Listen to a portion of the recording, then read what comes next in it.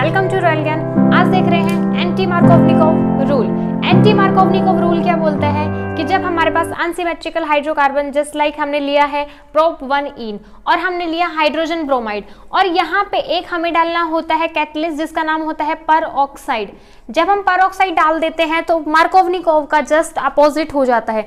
क्या होगा इसमें?